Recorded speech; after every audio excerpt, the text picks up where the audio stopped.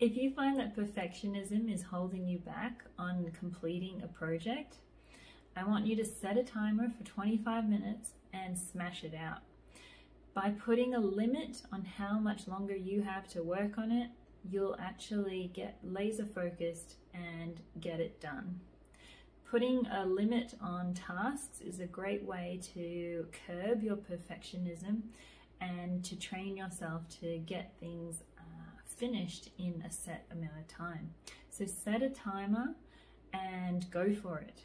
And when it's done, that's it, it's done. Move on.